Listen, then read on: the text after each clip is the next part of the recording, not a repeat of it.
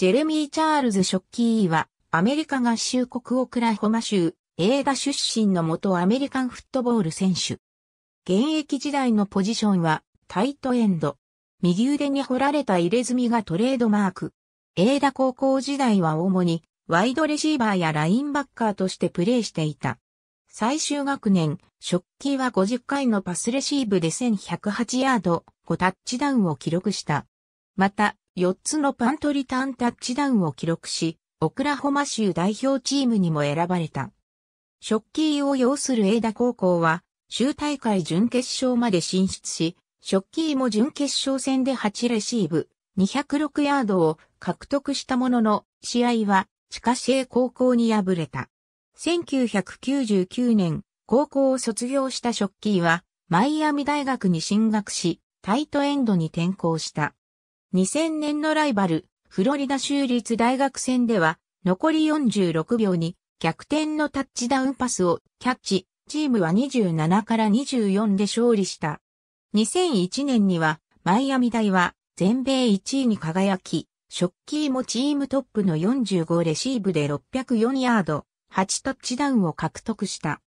2002年、ショッキーは NFL ドラフトでニューヨークジャイアンツに全体14位で指名された。ショッキーはすぐに NFL に順応し、ダイエットペプシ NFL ルーキーアワードを受賞、5シーズンで4回プロボールに選ばれるなど、ジャイアンツのオフェンスの用として活躍した。特にリードブロックの技術があり、身体能力の高さで知られる反面、他の選手やマスコミに対して生意気な態度を取ることでも知られた。その最たる例は、2006年シーズンの第3週、シアトルシーホークスに敗れた後、ショッキーはインタビューでヘッドコーチのせいで負けたと発言したことである。2005年10月12日、ショッキーはタイトエンドとして史上最高額となる総額2638万ドルでジャイアンツと5年契約を結んだ。2007年12月16日、第15週のワシントンレッドスキンズ戦で、ショッキーは左の腓骨を骨折し、足首を故障した。手術を受けることとなり、残りシーズンを棒に振ることになり、先発タイトエンドの座はケビンボスに奪われることとなった。ショッキーが離脱している間にジャイアンツは NFC チャンピオンとなり、ニューイングランドペイトリオッツとの第42回スーパーボールを制覇した。この快進撃を受けて、一部ではジャイアンツに、ショッキーは不要なのではという意見も出た。2008年のドラフトを前にして、たびたびトレード要求を繰り返したショッキーに、トレードの噂が浮上したが、ドラフト終了後、球団は、ショッキーを手放さないと明言した。しかし、ショッキーは明らかに動揺しており、ミニキャンプ中に GM と大声で口喧嘩をしていたという報告もある。同年7月、ショッキーはドラフト2巡目と5巡目の指名権とのトレードでニューオーリンズセインツに移籍した。トレード直後、ショッキーは新しいチームメイトたちと友好的な関係を築こうとして記者にセインツはドリューブリーズを筆頭にオフェンスにいい選手がたくさんいる。今から入団が楽しみだとコメントした。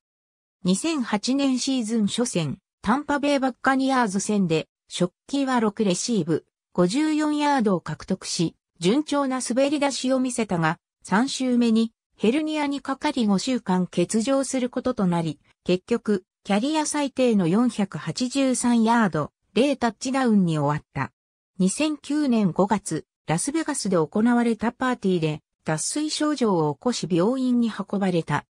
この年ショッキーは終始腰痛に悩まされ続けたものの、オフェンスの用として48レシーブで569ヤードを獲得した。